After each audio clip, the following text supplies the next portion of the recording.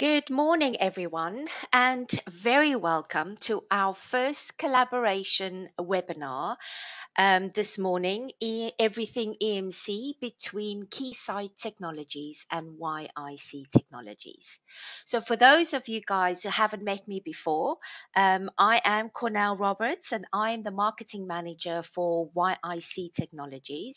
And today I will just give you a brief introduction on Keysight and YIC Technologies. Now, I'm sure none of you need an introduction to Keysight, but because of the purpose of this webinar, I'm going to give it to you anyway. So Keysight Technologies is a leading technology company that helps enterprises, service providers, and governments accelerate innovation and connect and secure the world. Keysight solutions optimize networks and bring electronic products to the market faster at a lower cost with offerings from design simulation to prototype validation to manufacturing test to optimization in networks and cloud environments. Customers span the worldwide communications ecosystem, aerospace and defense, automotive, energy, semiconductor, and general electronics in the end market. So Keysight generated uh, 4.3 billion um, in the fiscal year of 2019. So if you guys need any more information on Keysight, you can visit their website, uh, which is keysight.com. Now move on to YIC technology. So YIC technologies were formed when we took over the EMC EMI business from EMSCAN. We are a European company.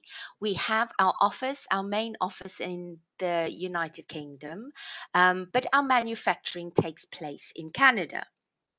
We have our own team at YIC, but we work very closely with our partner network, which gives us a global presence. So we help achieve EMC, EMI first time, every time. We have a complete product range to help you rapidly diagnose and solve your EMC, EMI problems.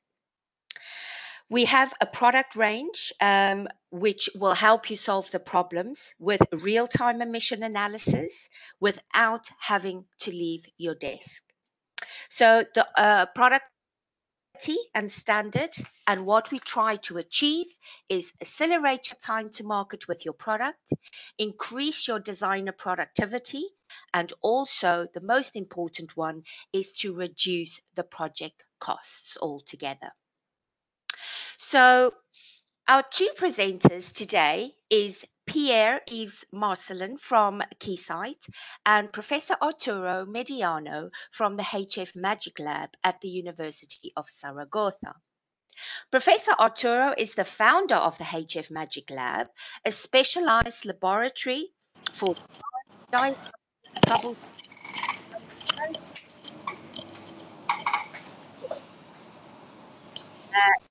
at the University of Zaragoza. We have he held the teaching profession uh, from 1992. and offers public and on-site in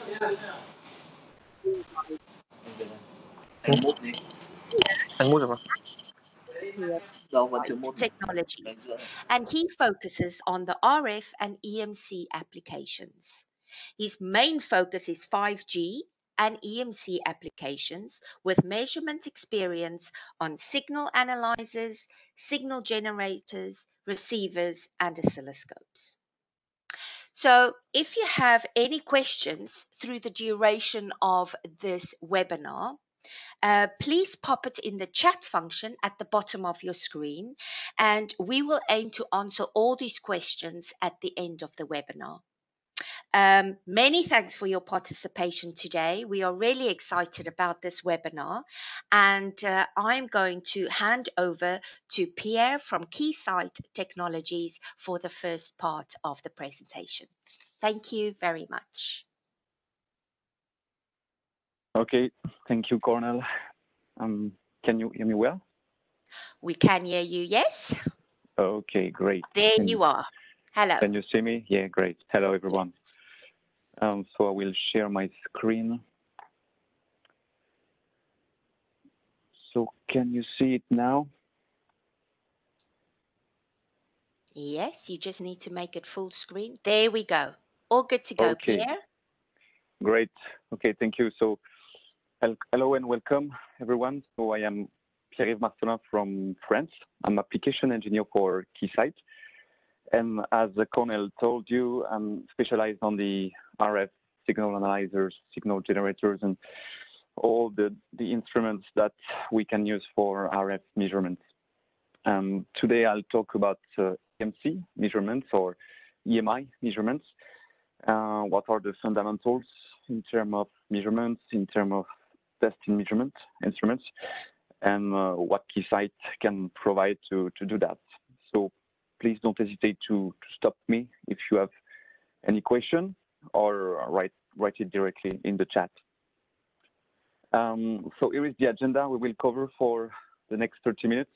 So we'll talk briefly about EMC basics for some of you who, who, who don't know what, what is EMC or EMI. Then we'll talk also about the traditional methods of EMC spectrum analysis. Then we'll move to the modern EMC receivers for, for a few minutes. And then I'll talk about the evolution of speed, the time domain scan capability, which has been added on the receivers in the last few years. And then I'll, I'll do a, a quick live demo with some instruments I have here with me. So let's talk about EMC. So I don't know if every one of you is, is familiar with those concepts or not. That's why I will just remind you uh, what, what EMC means. Uh, so EMC is, is the acronym of electromagnetic uh, compatibility. It is defined as the ability of uh, an electronic device to work in its electromagnetic environment without uh, introducing some disturbances to other devices in, in the same environment. So EMC contains both EMI and EMS concepts. So EMI uh, refers to electromagnetic interference. So that means that every device is not supposed to generate excessive energy into this into its environment. And EMS uh, refers to the susceptibility of a device to, to remain in a good working status in any electromagnetic environment. So in the next few slides, we'll, we'll talk a, a bit more about EMI uh, specifically. So what is EMI? So an another definition here. So EMI, as I told you, means electromagnetic interferences. So I, I put here a few examples of, of devices that may generate some excessive EMI emissions. So for example, rotating machines are generating some interferences and everything basically containing a motor is a potential source of EMI.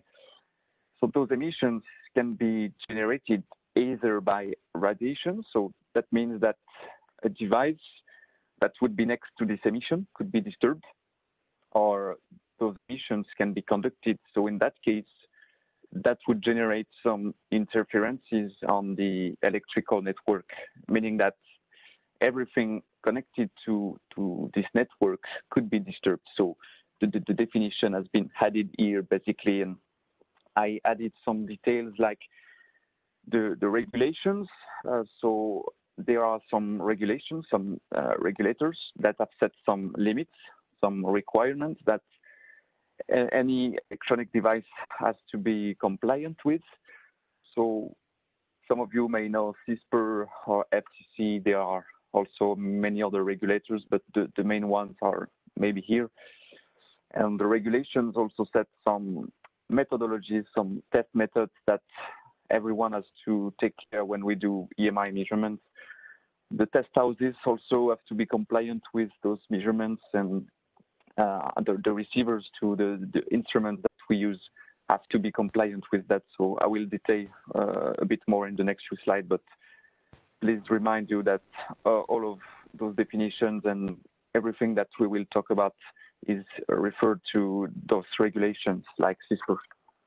Um, so hopefully the, the, good news is that those emissions can be captured by spectrum analyzer or a receiver, and that's what, what we will talk about in the, the next slide. So let's talk about um, over a quick overview of, of spectrum analysis. Uh, so the, the question is, what is spectrum analyzer? So spectrum analyzer first is a receiver, only a receiver, passive receiver. So that means that it it won't act on the signal itself. That won't generate anything. It's just a way to to look at the signal with a receiver. So I won't spend too much detail on, on the block diagram. I, I just added here a few details uh, of what you can find in the, the literature about spectrum analyzers, but the principle is the same than the, the super heterodyne receiver. So some of you may already have heard this acronym or this term. So it's like the old radios were working and for, for some of you who have some old AM radios or FM radios inside, it, it works like that. It, it's the same same way of working. And the, the goal here is to display, measure, and measure amplitude versus frequency. So uh, basic spectrum analyzer or the analog spectrum analyzer is a device that will only do that, display amplitude versus frequency. And this is what we will look on the, the screen mainly for EMI measurements. And you can see inside that the principle is that we are mixing inside two, two frequencies. So the one that, that is coming from your device or from the air, and another one which is coming from a local oscillator. And that frequency mixing then comes inside an IF stage, and we are doing a, a kind of process, and then we are displaying the, the frequency on, on the screen. And this is how it works. So for some of you who would like to know more about that, you can find some some literature and many more information on, on, the Keysight website or even on, on Wikipedia. We, we can find many information about that. So this is how it works, a spectrum analyzer. Uh, then I, will move to the other slide, which is EMC receivers. So an EMC receiver, in fact, is a spectrum analyzer with a bit more capabilities, and we will detail it uh, on that slide. So first, an EMC receiver is something that is fully compliant uh, with the regulators like CISPR 16 or even some other regulators. And everything inside, all the components and all we implemented has to be compliant with that. So for example, in, a, in an EMC receiver, you can find additional features like the built-in limiter or some EMI detectors that have been implemented. So this is the kind of thing that require a bit of post-processing and additional features inside. So this is uh, because it is different than the spectrum analyzer here. And this is one, one main differentiator. You can also find many other hardware uh, inside like the notch filters or some pre-filters bank bank of filters like the one I added here. So this directly come from the block diagram of the receiver, which is here. And you can you can see that there are many filters inside that have been designed uh, especially for EMI and scanning bands that have been designed and, and set by the, the CISPR or other regulators. So this is why the, the EMC receiver is a bit more complex than the traditional spectrum analyzer. We had many more things inside. Um, and there are also some specifications that have been designed and especially uh, that have been implemented for CISPR, like the input VSWR, so the, the voltage uh, standing wave ratio at the input of the receiver has to be compliant with some values that have been set by the regulators. So those are the, the main difference. Um, I will talk about the detectors in the next slide. Maybe some of you may have a question about that. So we'll talk about the detectors in the, in the next few slides. And yeah, just remind that hopefully uh, an EMC receiver can still be used and has a normal spectrum analyzer. So even if you are just interested to do some basic spectrum analysis, you can still use a receiver for that because it will disable all these filters if you don't need it and etc. That's it for, for the receiver. Uh, yeah, sorry for the animations. Okay. So let's talk now about detectors. So this is something I introduced in, in the past slide. Uh, so what is a, a, detector? So during a, a spectrum scan, when you observe the, the traits, you can look at with different detectors and have different traces displayed at, at the same time on the receiver. So the first detector that you can use is the, the peak detector, which is the one who, which always brings the, the highest emission level on, on the display compared to the, the quasi-peak or the EMI average detector. So it's, it's common to, first run a scan with the peak detector as an initial scan because it is the, the fast sweep and if the emission is within the, the limit line, then you should be comfortable that you can also pass the limit test with the other two detectors. So that's basically the first detector we set when we are doing a, a, an EMC scan. And, and then you can see that there are also other detectors that you can use, like the quasi-peak detector. So for some of you who, who are doing some EMI or EMC measurements, quasi-peak detector is also widely used. Uh, so it's coming from, in fact, the, the CISPR that defined this detector. And it has been used, in fact, to, to compare what we originally uh, heard when we were hearing at the AM radio and when there were some interferences, uh, subjective annoyance like it is defined here. The, the quasi-peak is here to like compare this uh, this fact and what we heard when we had some interferences and it, it has been used uh, since that for many many EMC tests. And it's like an, a way between the peak detector and the average detection detector. So you can see here the, the comparison where you are using the peak detection uh, with a, a, pulse signal.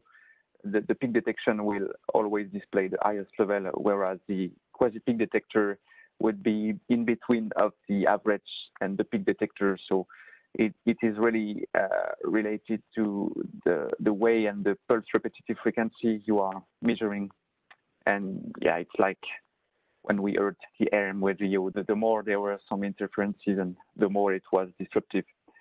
So this is how it works uh, inside and this is the kind of thing you can you can set on the receiver. So you can enable the peak detector or the quasi peak detector depending on the, the scan you want to run. And on the modern receivers you can also now choose the three different up to three different detectors in, in the same time to compare those detectors and the effect on your signal. So that's it for the detectors. Uh, I will talk then about modern now uh, methods that we're using for, for doing EMC measurements. So here are the, the main setups that we use when we measure EMI emissions or EMC uh, emissions. So we will detail those setups in, in the next few slides, but this is just an, an overview here. So the setup on the left is for radiated emissions. So here we are monitoring the EUT, means uh, emission under test. So it's basically coming from, from the device you are testing. And the emissions comes from that device, and then we are adding an antenna inside the setup. The antenna is represented here, and this antenna is capturing the, signal coming from the, device, and then uh, with the cable, we are connecting it to, the spectrum analyzer or to the receiver, and then we are analyzing that on, the screen. We will detail that, that setup uh, in the next slide, and on the right, you, you can see the, the conducted setup for conducted emissions. So in that case, we are not using any antenna, but instead uh, LISN. So LISN means line impedance stabilization network. We will have more information also in the next slides. And this is basically a, a filter, but we, we will see that then in the next slides. So let's first talk about radiated setups. So here is here are some setups that are commonly used for emission testing. So we can use some, for example, semi-anechoic chambers, like the, the one that are here on the top. So that's very convenient for small devices or for pre-compliance testing where, where we don't have much space. And uh, you can also use the, the wider anechoic chamber, which, which is a well-shielded room with absorbers uh, on all the sides of the room. So this is usually used for, for compliance testing. And during the emission, uh, radiated emission testing, we are using some antennas. So this is something that CISPR is also specifying. The antenna types for its products are well defined. For example, when testing consumer electronics, the frequently used antenna could be the, the biconical antenna or the log periodic, depending on, on the, the frequency. And testing uh, military electronics, uh, for example, is using horn antennas for, for another example. So those are uh, some examples of antennas that are displayed here. And you can see that depending on the setup you are using and depending on the, the standards you are measuring, uh, this antenna has to be placed at three or 10 meters depending on, on the setups. And then we have the emissions of the device directly uh, displayed on the on the screen of the receiver. Uh, note that we also have to take care of that antenna uh, when we are doing the measurement. So I mean that we have to enter the correction factors of the antenna into the receiver. So this is something that also can be done now in the, the modern receivers. And we can also add the, the cable loss. We can also add the, all, all the passive things that have some losses inside the, the chain can be added in, in, the receiver so that the measurement you are doing is is the one from the device and not from all the chain you are putting uh, in between. Let's talk now about the conducted emission testing. So here is an example of a conducted test setup, for example. So as you can see, there are several items. So the first one uh, could be an isolation transformer. So it, provides a safe isolation from for the operator. Then you can find a EMI filter to, to provide a, a, clean AC power to, to the LISN. So the LISN is here on the on the setup, and here are a few definitions here of the LISN. So for some of you who are doing conducted emissions, you probably know all those kind of things. But for those who, don't know that, uh, the LISN, in fact, is a device that will isolate the power mains from from the equipment and the test, uh, because the, the power mains can can be dangerous for your device if you plug it directly in, inside the, the spectrum analyzer. So we have to isolate the power uh, so that it won't come inside the spectrum analyzer. And then the LISN also provides an isolation from the noise generated by the device itself. It, it will prevent this noise to, to be coupled on the power mains and instead it, it, it will be uh, directed to the spectrum analyzer or to the receiver so that we will be able to, to measure those emissions on the spectrum analyzer. So here is um, a, an example of a, a, diagram of, of, yeah, like a schematic of, of, of, the LISN and what you can find inside. So you can see that it's like a, a multi-filter that will provide all those isolations between the devices. And it is also something that is specified in the, the, the CISPR standards or, or other regulations. And then after the LISN, you will find a limiter uh, sometimes, which will prevent excessive input power that, that would damage the, the, the, front end of the spectrum analyzer. And at the end, you will find the spectrum analyzer or receiver that will capture and analyze the, the interfering signals and, and determine if, if it meets the, uh, the requirements of the standards. And as I told you, sometimes the limiter can be built inside the, the receiver itself. Uh, yeah, okay, uh, animations here. I will talk now about the evolution of, of speed that has been implemented in, in the modern receivers. So it is a concept that some of you may already know, but I, I will talk here about the, the time sweep that it takes when you are doing a, an EMC scan. So for some of you who are making EMI measurements, you know that the time it takes to measure all the frequency range with different detectors and sometimes different antenna position with some predefined resolution bandwidth may be very long, so it can take several hours to do an entire measurement with all the, the required setups. So the measurement times essentially come from the receiver itself because it has some uh, detectors with predefined uh, dwell time and some predefined resolution bandwidth that have been set by, by the standards.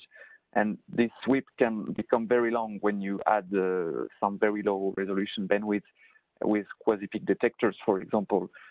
So that's why we introduced um, a few years ago the, the time domain scan capabilities on our receivers.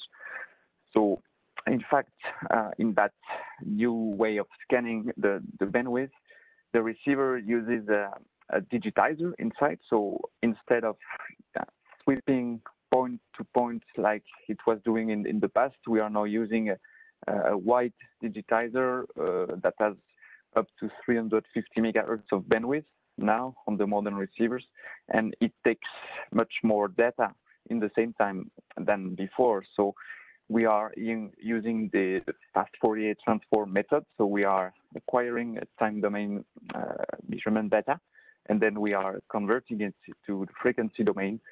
And that uh, method uh, enables us to do very fast scans compared to the, the past. So when you are doing many setups with different positions of antenna, this kind of thing, I will show you that the time it takes is, is much more uh, efficient now and you can save uh, some hours uh, when you are doing a measurement with, with, that capability. So this is the purpose of my next slide, I think. Yes. So this is an example of uh, an automotive setup, but it, it could be uh, the same for many other standards and many other devices. So typically for ear uh, radiated emission setup, uh, with an antenna, you have to do uh, different antenna positions. Uh, so, for example, the horizontal or vertical polarization. So that requires two different scans. And sometimes you have to do that at different distances. So one, three, 10 meters, for example. So you have to multiply the number of scans you are doing. And if you are doing that uh, with a quasi-peak detector, for example, like on, on, on that example here on the CISPR band from 30 megahertz to 1 gigahertz with a quasi-peak detector and one second of dwell time, uh, with the normal mode that, that would take up to nine hours. So for some of you who, who have some old receivers or spectrum analyzer uh, with the, the normal step scan, you know that it can it can take many many hours, and this is painful when you are doing different setups because if you multiply that by by four, for example, if you have four antenna positions, you can imagine that it will take uh, many many hours, and with the, the time domain scan, the, the, the, concept I introduced in the past slide, you can see that the time it takes is reduced to less than one minute so this is very impressive, and uh, the, the, difference is amazing when you are doing this time domain scan capability. And I also introduce here an accelerated time domain scan, and, we, and I will show you more details on the next slide. But this is something that Keysight introduced uh, recently on the new receiver uh, that we have on the portfolio. And this accelerated time domain scan is even much more performant now than the, normal time domain scan, I would say. So let's talk about that, that new accelerated time domain scan. So this is something we introduced here on the, PXE receiver, which is the high performance receiver from Keysight. So it's an instrument that has been released um, less than two years ago now. Uh, you can see that it has different frequency ranges depending on what you need it is fully compliant with uh, all the regulators and all the EMC standards like, like CISPR and FCC or military standards. And uh, we introduced on that receiver a wideband digitizer that will allow uh, the measurement uh, to, to be very fast. Uh, instead of using the normal time domain scan, we are using here uh, much more data and thus digitizing much more things so that the time it takes to, to do the sweep is, is very short. Uh, you can see also that we it has uh, some very good uh, specifications like the sensitivity, which is up to minus 169 dBm per hertz at 1 gigahertz. So thanks to a new uh, design inside with LNAs and many other things, we are able to to measure uh, some signals up to this this value, and uh, it has also a built-in emitter and, and many other many other things. So if you need additional details, we we can send you some some data sheets about that instrument. Um, I think then I have a video about this time domain scan accelerated mode that I introduced. So this example has been done on the CISPR band uh, CD, so 30 megahertz to 1 gigahertz using a quasi-peak detector with one second of dwell time and 120 kilohertz of resolution bandwidth. So for some of you who already did that measurement with a normal receiver, I would say, you know that it can take uh, several hours. And here, for example, on the left, I have a video with the standard TDS, so the standard uh, FFT scan that some of you may already know that can take, in this example, up to 46 seconds. So that's already impressive compared to the, the previous method, but you can see that it, it, it, yeah, it becomes longer at the end because the, this is a logarithm sweep. And yeah, it will take 46 seconds. I won't wait until the end. And on the right side, we have now the wideband time domain scan or accelerated time domain scan that has been implemented on the PXE.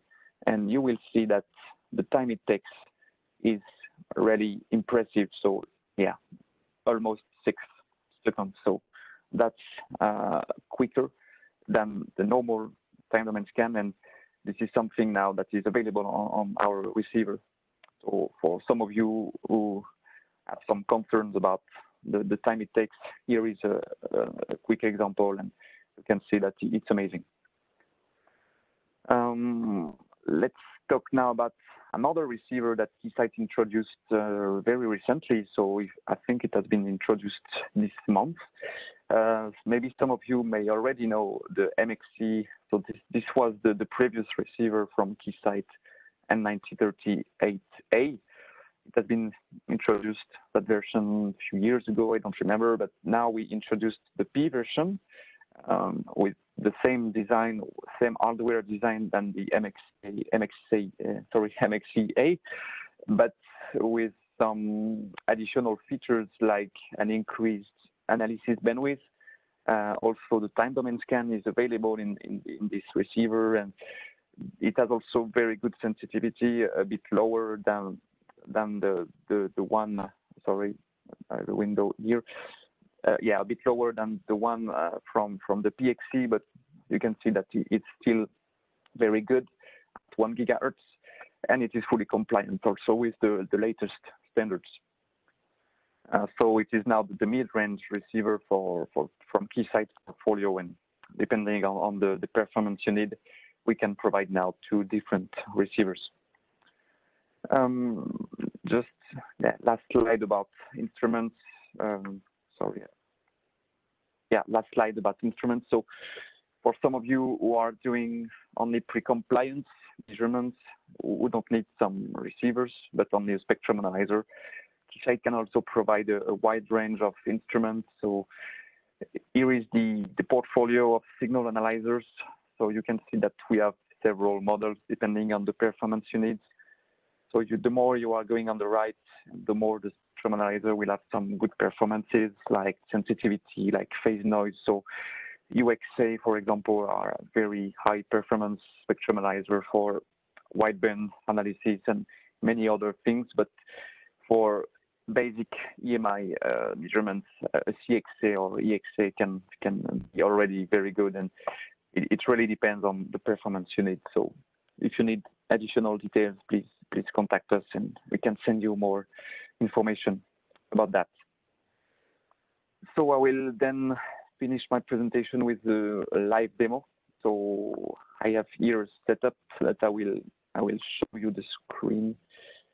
So can you see now uh, my screen, which is uh, an EMI receiver? Yes, we can. Okay, great. So this is an instrument which is connected here with me, um, and I can access with with the, the Windows uh, remote desktop connection. So that that is something that is implemented uh, in standard on the instruments. And I use the signal generator uh, directly connected to this uh, spectrum analyzer to generate some signals that you can see here.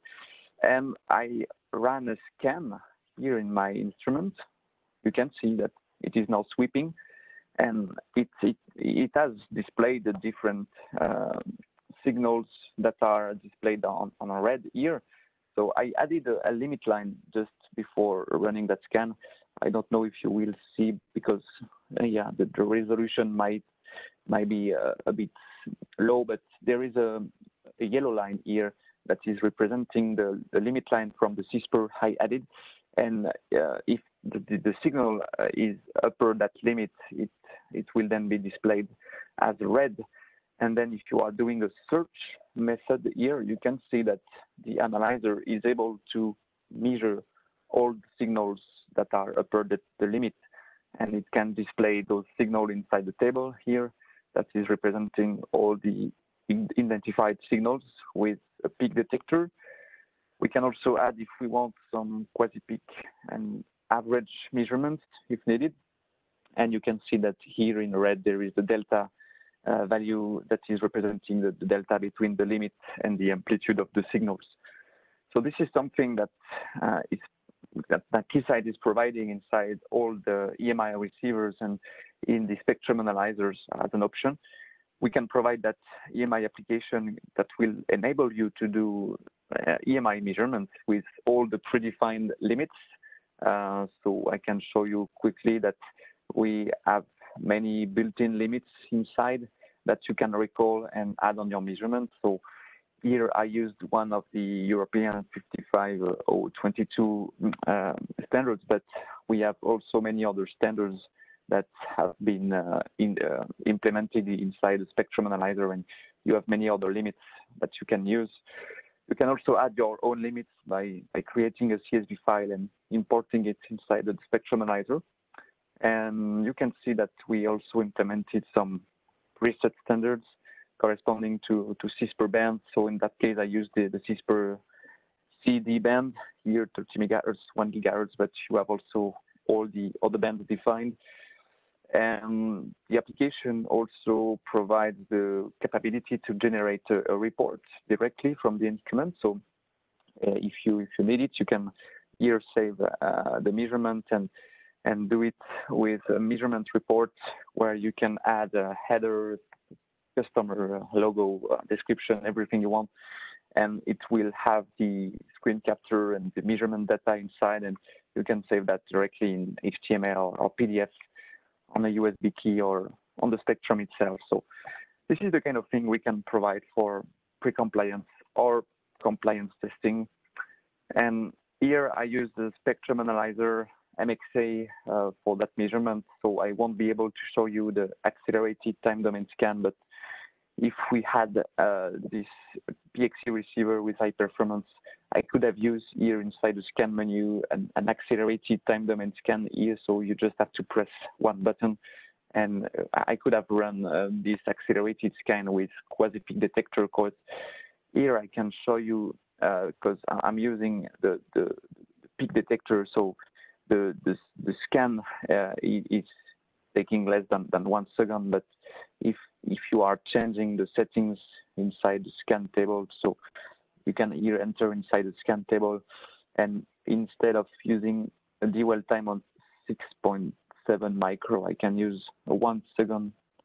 But uh, oh, it has been limited. Maybe I should change the detector somewhere you can see that we have the, the end and the control on, and on everything inside the scan table. And you can run the measurement on different ranges and then change the resolution bandwidth, the dwell time, the, the, the attenuation, even range by range. So this is very agile. And you can change uh, whatever you want during the, the scan. And I think that it's, it's really powerful for EMI measurement.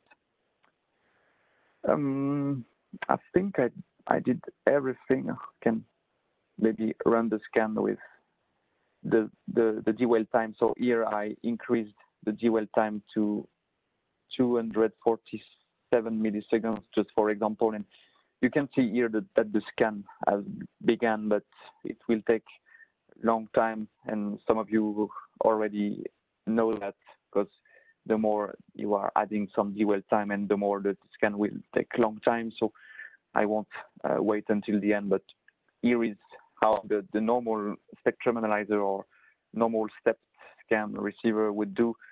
And you can imagine that if I run that with the accelerated time domain scan, it, would have been already done if I add this feature on my instrument. Um, I think I'm okay with the presentation, so I will then uh, give the end to, to Arturo or the, next part. And if you have any question, just add it inside the slide. And I think at the end, we, should have a quick Q&A together. All right. Thank you very much, Pierre. Um, and we'll hand over to uh, Professor Arturo now. Hello, Cornell. Can you listen me? We can hear you loud and clear. Okay, let me share the screen because uh, I hear. Okay. Uh, uh, here, so let me know. You can see the screen. It's okay? It's still coming through. Yes, I can see the screen. This is Excellent. the presentation, right? Excellent. Good morning. Good thank morning. you, Cornel, for the presentation. And thank you, Pierre, for, for the first part of this uh, webinar. I am very happy to be uh, sharing this time with all of you. And uh, we will spend some additional uh, time uh, for debugging EMI problems with in the near field. Uh, I will be using some near field tools and I hope you will enjoy this this webinar. I'm working from many many time ago with uh, YIC Technologies. It's a company specialized in the near field scanning, and it's the first time we work with uh, Keysight. So I hope you will enjoy this uh, experience. Okay, so let's start with the first idea. Remember, like uh, if you are interested in EMI and EMC, you are designing or manufacturing electronic products, you uh, are focused in this situation the idea is that you have some kind of victim that is receiving the uh, problem, the, the energy that is coming from some circuit of some uh, product. Uh, this energy can be created what, uh, by what we call an intentional transmitter. I mean uh, a wireless system, for example, a Bluetooth or a Wi-Fi uh, radio frequency system or a telephone or something like that. All the people know that these circuits uh, radiate energy to the environment because many people know that these uh, uh, devices uh, have an internal antenna to do this uh, work. But uh, many people is not very familiar with the idea that many times we have unintentional transmitters. We have hidden antennas, we have hidden transmitters inside of any electronic products in automotive business, home appliances, audio systems, if you are working at low frequencies or you are working at high frequencies, part of the energy that is in your product is able to arrive to the victim. So remember, if you study this uh, problem from uh, the theoretical point of view, you will find in many books that the problem is uh, related with the idea of uh, experimenting culprit or finding a culprit. We have a victim, and we have some kind of coupling mechanism. The most difficult part in the uh, troubleshooting of EMI and EMC is uh, to find how is the coupling mechanism between the culprit and the victim. It's through the air, it's through the cables, it's through the chassis, it's conducted, it's non-conducted, it's the crosstalk. There is a lot of possibilities, and typically uh, it, this is not an easy task for the designer. This is what happened when you go to the lab you try to pass some kind of test, conducted radiated emissions. Pierre has been explaining this idea very well. And uh, for example, in the picture, you can see a conducted emissions result from 150 kilohertz to 30 megahertz. And you can see how are the emissions over some kind of limit in some specific regulation in peak, quasi-peak, or in average mode. This product cannot be uh, sold. And then we need to go inside of a product to solve the problem. Many times we try to solve the problem with a filter or shielding. This is not the best solution. Filtering or shielding try to go to the coupling mechanism to reduce the coupling mechanism, uh, typically with filters for conducted emissions and with shielding for non-conducted uh, for non-conducted coupling. Uh, what usually uh, try to recommend is to try to find where is the culprit of where is the source of the signal. If you find the source of the signal, you can uh, reduce the emissions uh, for any kind of cable, any kind of enclosure, any kind of slots, apertures, or any kind of part of your system. So this is because finding the culprit is so effective and so important. Uh, I will try to do some uh, demos working with near-field probes. Uh, in the debugging process, uh, we try to go close to the circuit under test instead of this kind of test where in radiated emissions we are at three meters, 10 meters, something like that. We are in what we call the far field. Or for example, when we are uh, measuring uh, conducted emissions, we are uh, analyzing how is the noise we are injecting in the power supply cable. But then when we try to find in the circuit where is the energy created, we can use uh, near-field probes. We have two different near-field probes. One near-field probe is specialized for uh, magnetic fields, what is a near field probe for magnetic field? It's very easy. Take a piece of coax cable. You can remove the plastic at the end of the cable, and you can uh, create this small loop here. If you create a very, very small loop, what happens? You will be able to pick up very small energy through the coupling of magnetic field lines through this loop. Uh, this is good or is bad, it depends. If you are interested in a very high uh, um, uh, spatial resolution, this is very good because with a very, very small loop, you will be able to find that the origin of the problem is some specific trace or some specific component in your uh, design. But if the signal that you are picking up is very, very small, you will need some kind of preamplifier or some kind of very uh, high dynamic range instrument to see the signal. For example, one spectrum analyzer and perhaps with one oscilloscope is very difficult to see the signal uh, included with the noise. What we can do to uh, pick up more noise, losing some kind of uh, physical uh, spatial resolution, is to increase the size of the loop. This is another possibility. Then, with when we go from a small size to a bigger size, you will uh, um, obtain some additional effect. Typically, the bandwidth of the probe will be reduced. Bigger probes are lower in bandwidth, so you will be able to pick up less uh, with less efficiency, very high frequencies. We will have resonances, we have capacitive effects in the uh, construction of this probe. Another different uh, technique is to take several turns in your probe. No? So what we have is to uh, take one, two, three, four, I don't know, different number of turns. So we will be able to have more uh, voltage at the output of the probe, but this kind of uh, turns will introduce additional parasitic interwinding capacitance and the uh, self-resonant frequency of the probe will go down. But it's very effective if the signals you want to pick up are not very, very, very high. I mean, lower than I don't know, um, 100 megahertz, 200 megahertz, something like that. What you will find in commercial probes is that the loop is shielded for electric fields because in the previous uh, probes, this uh, small wire you are using to pick up magnetic field lines is sensitive in some way for to electric field uh, from your circuit. To minimize this effect, we can increase the size of the shield around the loop, like you can see here.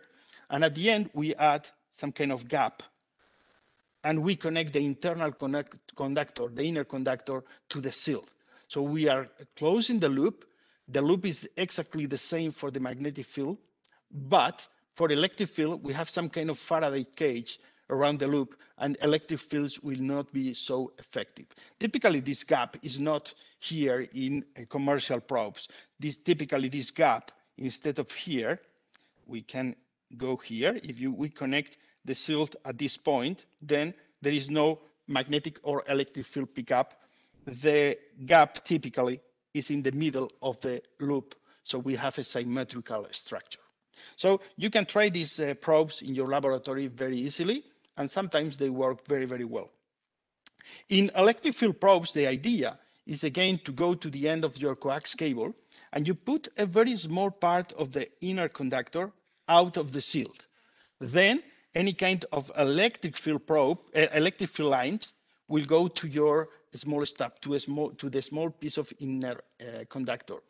If you have the uh, need to find the specific source of the electric field with a very high spatial resolution, the idea is that this small uh, tip must be very, very small.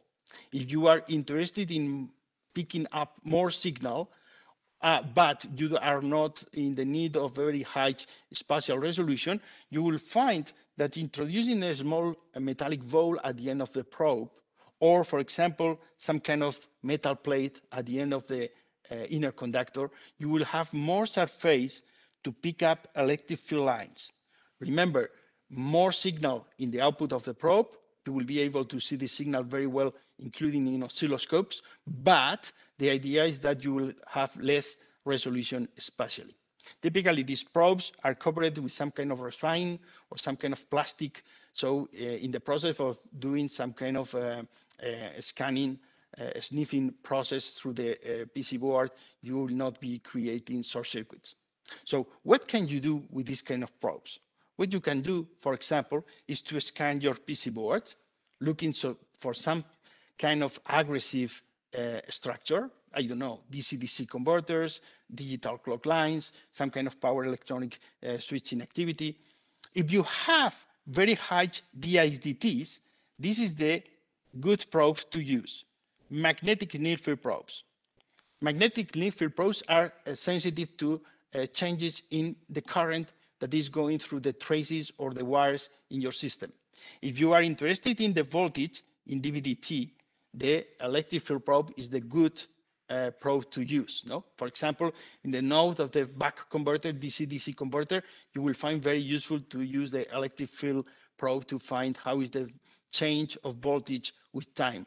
But if you are interested in the magnetic field around the coil of this buck com uh, converter, the idea is to use a magnetic field probe to pick up the magnetic field lines that are uh, created by the change in current in this component.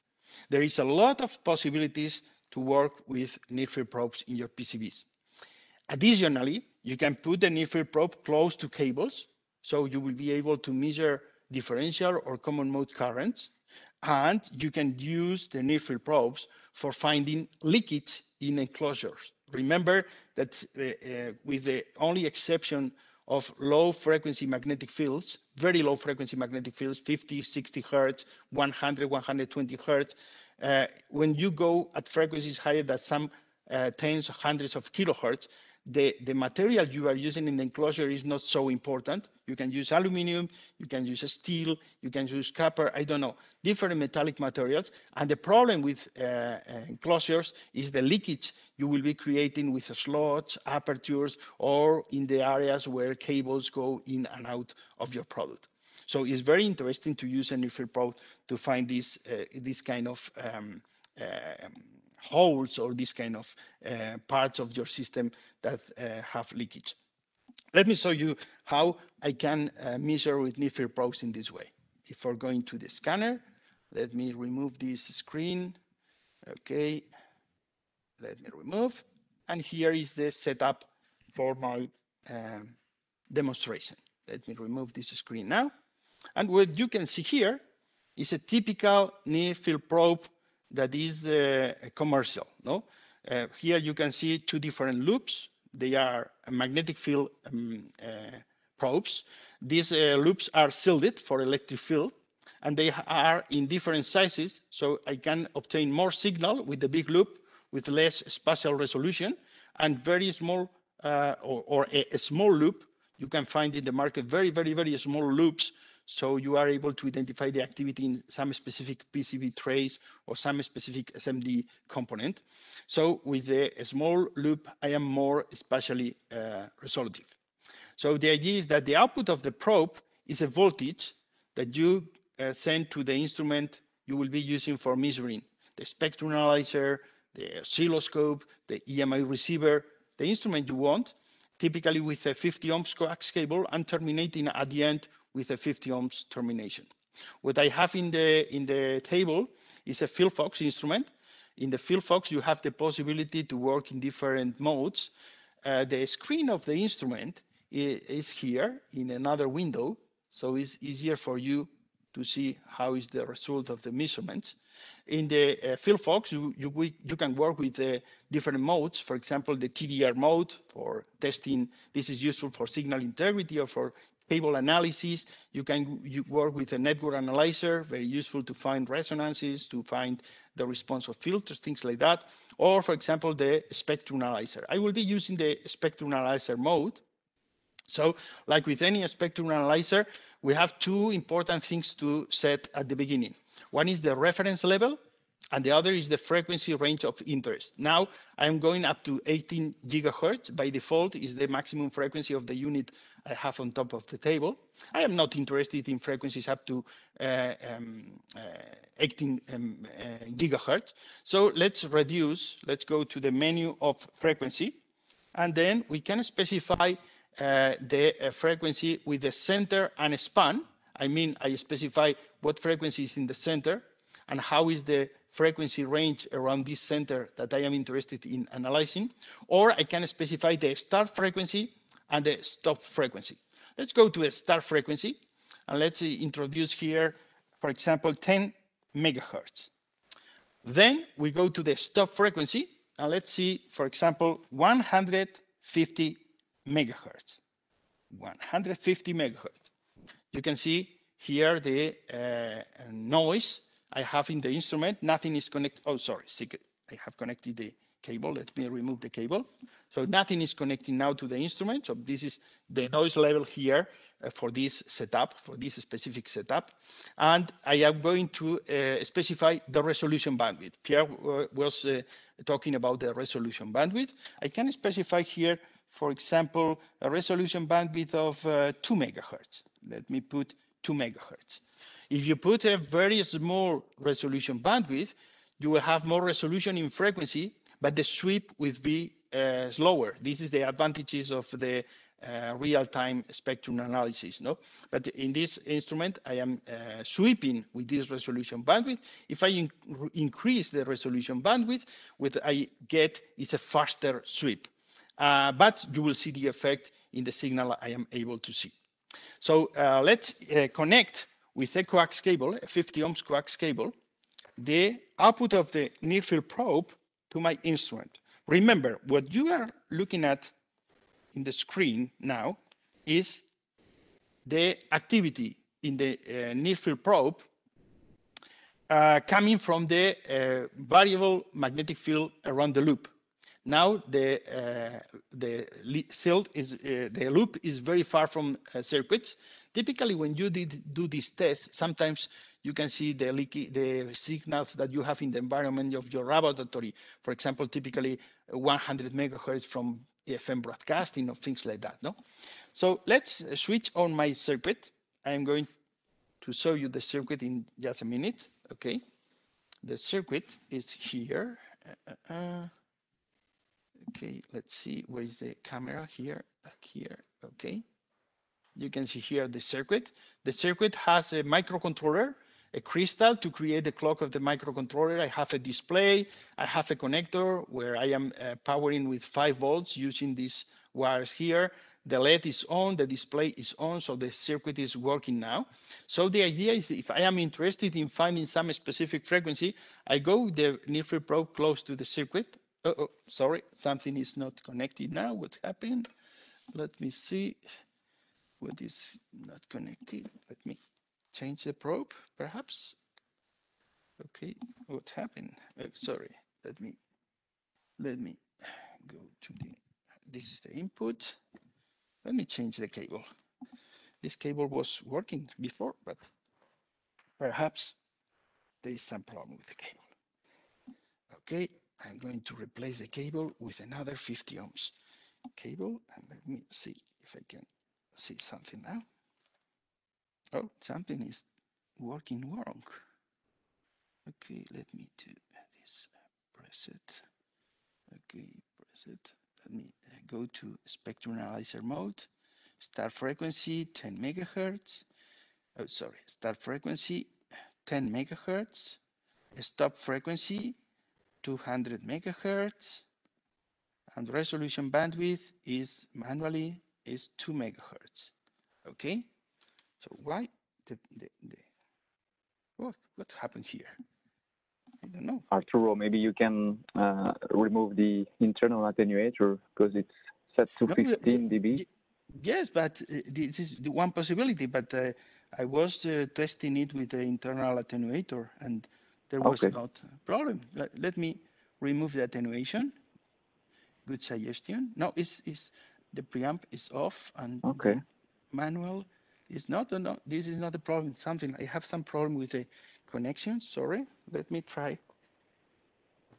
Let me try another near-field probe. Um, Okay, something is wrong here. What is wrong? I am connected to the good input port. Yes. I. Yes, I tested it some time before the presentation. Okay. Oh, let me try another. This is the demo effect. This is typical with my students. Let me see if I can work with another probe so I can identify the problem is with the probes. If the problem is not with the cable, perhaps the problem is with the probe. Okay. Okay, it's not with the probe. I don't know what happened here. Sorry. Arturo, we just had a comment saying that's engineering for you. Yes. No, no, no. I don't know what is failing here. Okay, let me start frequency 10 megahertz, stop frequency, but this is so easy. So there is nothing special I am doing. Manually 2 megahertz of the resolution bandwidth. And now we connect the probe and nothing. What? Ah, it's, it's not connected to the instrument, so I don't know what is. Uh, ah, now, now it looks like something is internal. Let me resolution bandwidth uh, one megahertz. Okay, okay. Now I start to see something. Let me go to the amplitude menu and let's auto scale. Okay, now it's okay. Sorry for the for the problem. I don't know what happened, but at the end, I was able to work with the same probe. Well, I am going to switch to the small probe. So I, in this way, I will be able to show you more uh, uh, frequency resolution, spatial resolution, sorry. So let me switch to, let me go around the circuit. You can see here that I can identify specific energy at some frequencies, okay?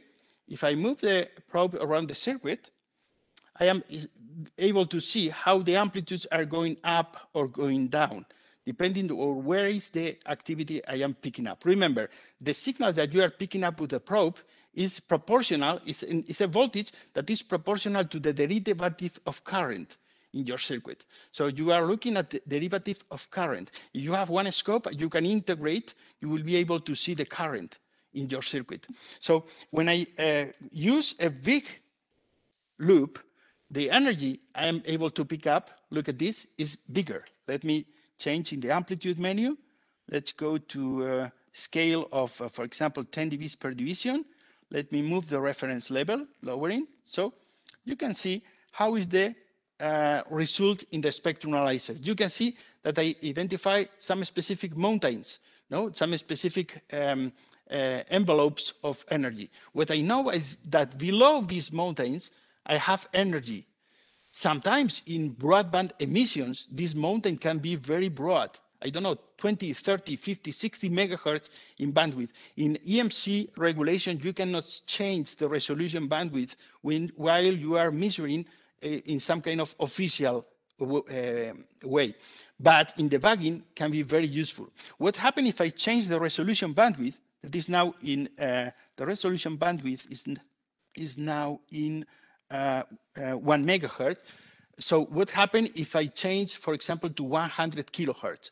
You will see that the noise level will be going down and we will be able to identify specifically uh, what kind of energy is below these mountains. So let's go to the manual. Let's go to a resolution bandwidth of 100 kilohertz here.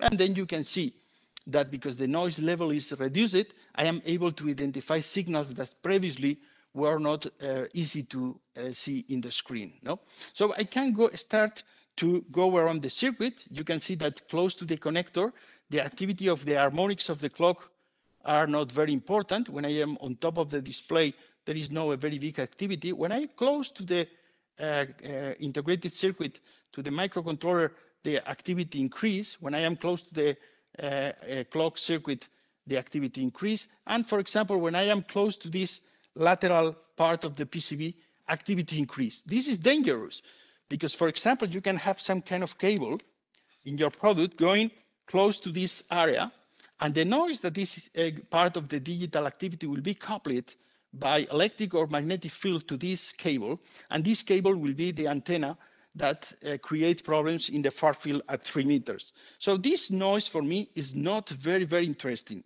Let me change the probe to a smaller loop probe, something like this, and let me fix in place so I am not changing the position or the orientation with my hand. Okay, so you can see here that the, let me see if I can increase the size of the picture. Okay, this way. And you can see that now the probe is close to the area where I can identify some specific activity. Let me see, okay. It's very, very small activity. Let me see. Okay, this way, in this area. And then let me, it's very small. Let me go to the bigger loop. Okay, this way. Okay, you can see. And let me go to the menu. Let me make an auto scale let me go to the uh, uh, marker menu. And with the marker, let's go to the peak. You can see that the peak of my emission is in 11.05 megahertz. This is the main frequency of my clock. Okay, you can see that in my PCB, the crystal here is 11.06 megahertz, 11.0592 megahertz. So this is the, the first harmonic of my clock. Sometimes this is easy to understand because it's a digital circuit. Sometimes the problems are coming from a ringing or from a parasitic oscillation in, in your circuit, and it's not easy to identify where is the origin of some specific frequency. So let's see what happens if I introduce a change in my circuit. I am going to introduce more decoupling capacitance in the microcontroller circuit. Look, look at the first harmonic and the second and the third harmonic, and look at the reduction of the amplitudes. Okay, so with this uh, with this small capacitor in place, the capacitor I have introduced here, I'm going perhaps something like five or six dBs below the activity I have without the decoupling capacitor. Let me remove the decoupling capacitor. Plop and then you see this, the, act, the activity is increasing. What means with the decoupling capacitor in place here, I am reducing the activity in this area. So with near-field probes, you are able to test how different changes are uh, dominant or are important in the emissions in the near field or in the far field of your circuit. So what I am going to do now is to switch to some kind of uh, different activity. I will be using the FieldFox with one scanner. What kind of scanners we can find in the market? Two different scanners. One scanner where you have a near field probe that is uh, uh, um, fixed to a one arm robot and automatically you sweep the area of interest uh, scanning in some specific frequency range, or you can use a flat scanner. The idea is this, basically the same for all of these products. Typically, you connect the EM probe, the one-arm robot to the spectrum analyzer. In my case, I will be using the FieldFox, and both systems are connected to the software in the uh, uh, computer. If we go to the flat scanner, what we have is a surface with more than 1,000 small loops that are uh, prepared to scan the different orientation of currents in your PCB So you are able to identify where is the current path for your signals, what is very, very important to control EMI.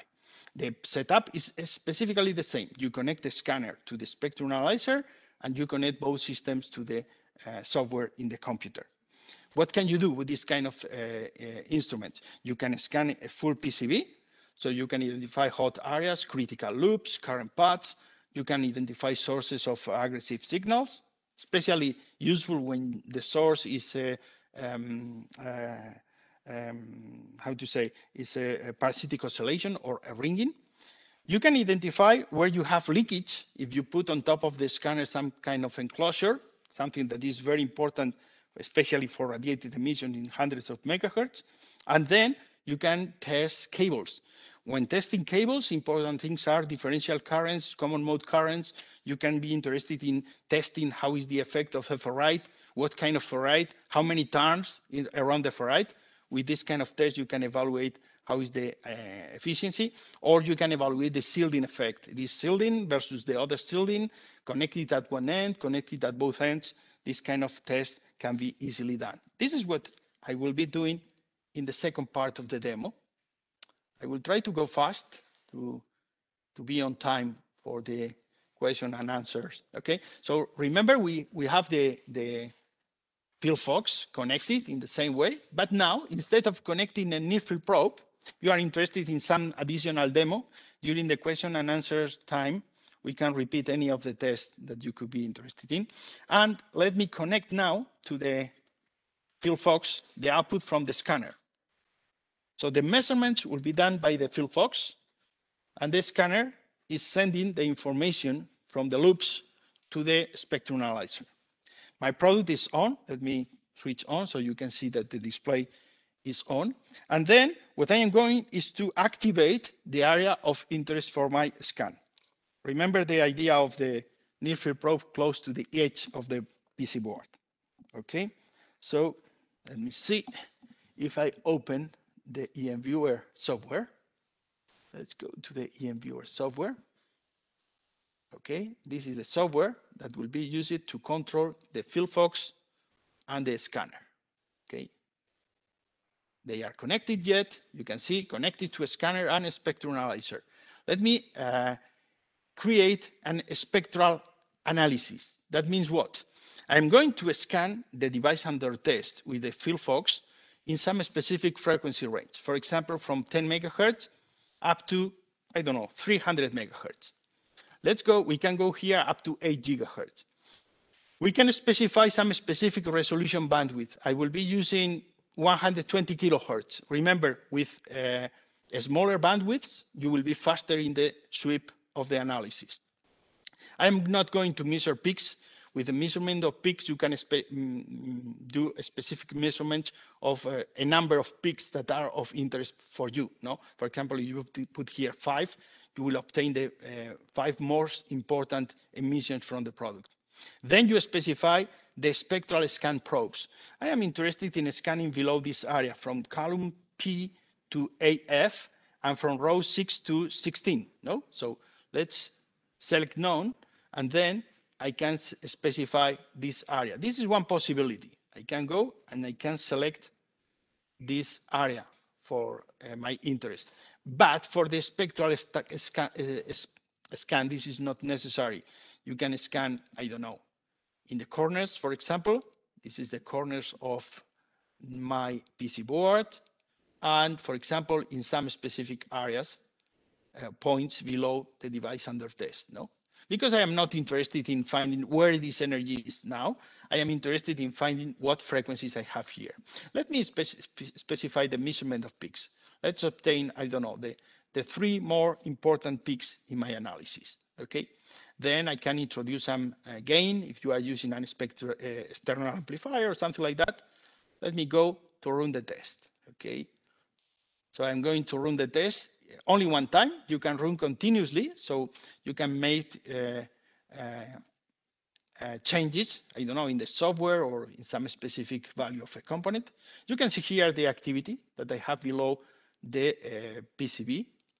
Let me uh, uh, increase the size of the screen so you can see better.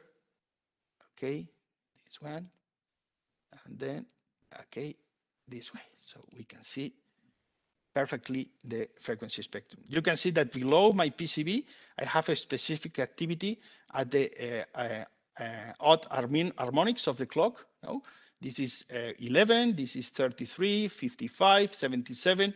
I have some uh, FM broadcasting activity, and the other harmonics are uh, seriously reduced. No, so I am interested in finding, for example, where is this activity? The 11 megahertz is the frequency that we detected in the edge of the PC board. So I'm going to run a node that is called spatial node. From the spatial node, I select what frequency is of interest for me. For example, let's specify from the three peaks I have detected, 11.06 is the first harmonic of my clock. 120 kilohertz for the resolution bandwidth. And instead of this setup for activated cells, let's go here to activate all the cells below the device under test. Because I am interested now in finding where the 11 megahertz signal is located in my circuit. No amplitude adjustment, accept. I increase the size of the screen and I run the test. Now I am not running the test at one specific frequency. I am running the test only at 11 megahertz. So you can see where is the loops in my circuit. Clearly, I can see that around the PC, the microcontroller, one of the decoupling capacitors and the area of the crystal, I have activity at 11 megahertz. In red color is the most, uh, uh, the biggest amplitude, but I can identify that in the edge of the board, I have serious activity, no?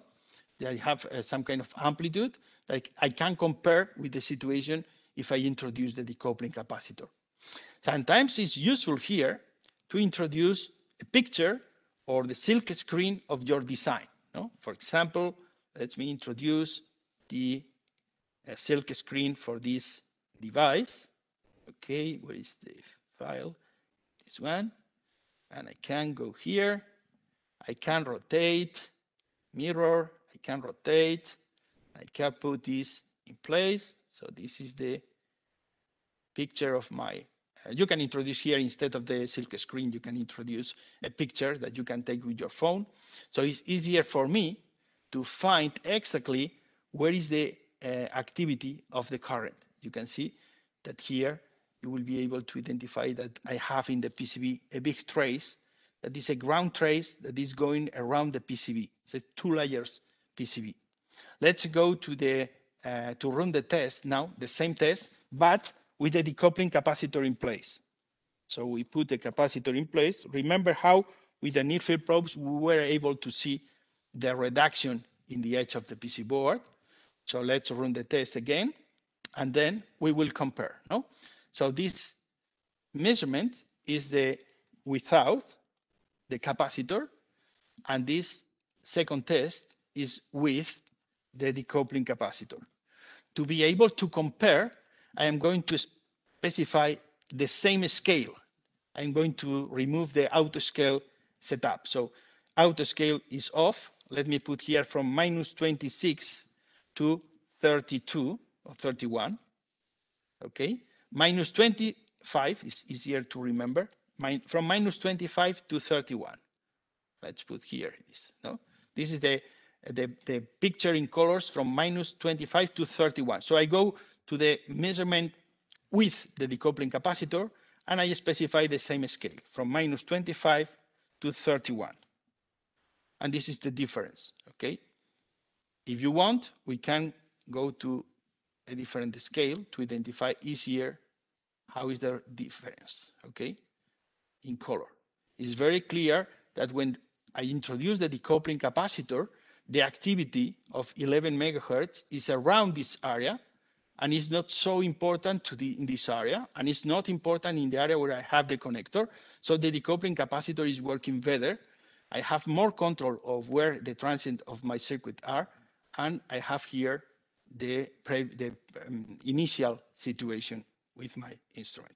I can see this in 3D. This is very useful. So you can see how the activity is around this area of the PCB You can rotate or you can take a picture for documentation. Okay, it's the same with cables or with the is the same with enclosure.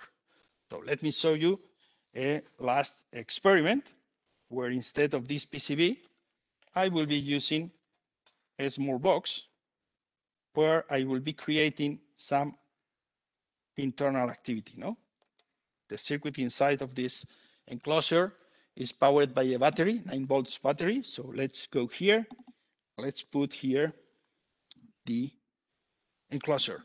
In the opposite side of this of this system, I have the same slots that I have in the top of the box. So we will be able to see what happened if some harmonics find a good path for these uh, frequencies, no, for the frequencies I have internally in this uh, device. Okay, so what I need to do is, for example, some kind of uh, analysis. Instead of a spectral or a spatial scan, let's run a spectral spatial scan. Let's specify a frequency range that, for example, goes from 10 megahertz up to 300 megahertz. And let's go to a resolution bandwidth of 300 kilohertz. I'm going to sweep in this frequency range. And now, because the scan is called spectral spatial, what I am going to do is to scan all the cells that are below this area and in the full frequency range. Let me go from the row 6 to row 20 and from P to AI. So from P to AI, okay, AI exactly here to 20. This is the area of interest for me. Yeah, I can introduce the overlay, of course. I can go here and I can go to introduce a picture I have taken with my phone so we can find exactly where are the slots in my enclosure. Okay, accept, and then I can run the test. Remember, what I am doing now is to scan the full picture, the full uh, area of below the uh, enclosure. You can see that I start to see activity at some harmonics. Eh? I have uh, uh some leakage through the apertures of the cover and the body of the enclosure in the laterals. So it's not very slow, it's uh, fast because I am sweeping a lot of cells in a big frequency range with a small uh, resolution bandwidth. Okay, you can start to see how these green colors will be switching to blue colors as the system is finding higher amplitudes in this area. No? So it's clear that in this area here, I have some frequency that is coming out. Okay, so let's increase the size of the screen this way. And then we can put a mouse on top of the cells and you can see that the frequency that is going out is the harmonics of 300 megahertz, basically. Okay, of course we have additional uh, frequencies going out. No, if I go here, this frequency here, this peak is a frequency of 200 megahertz. So I can go to the user composite view and I can say where you have found this peak. Uh, this peak is here too, but it's bigger, the peak of 300 megahertz, no? This is what we say, what we see here. Okay? Again, sorry, reset zoom. What we can do here is to increase the differences to see how is the emission from the leakage, or we can see the 3D view to pick up the area specifically where we have the problem. No, so in this case, for example, you have some cables or you have some uh, aggressive area in your PCB, perhaps moving the PCB to the area that is not below the uh, slots, you will be able to reduce the emissions using these slots, or perhaps you can take the decision to reduce the size of the length of the um, ventilation uh, area. No? And this is the general view of uh, measuring with the near field tools is a short webinar. So I hope we are able to cover the main ideas, but remember that this is a world of experiments and problems for all of you. So I will be happy to answer any question you can have, or we can repeat any any other uh, experiment that can be of interest for you. Cornell, I think Thanks very much, Arturo. That was great. Thank you, Pierre. Um, so if anybody's got any questions for either of the presenters, for Pierre or Arturo, um, we can do that now. Um, I don't have anything in the chat function at the moment. Um, somebody's just asked if they could get the presentation. So just to let everybody know that um, all of you will receive the recording of the webinar as well as the presentation of both presenters. Um, so that will go out to everybody. So if we have any questions, uh, you can ask them now or post them in the chat, please.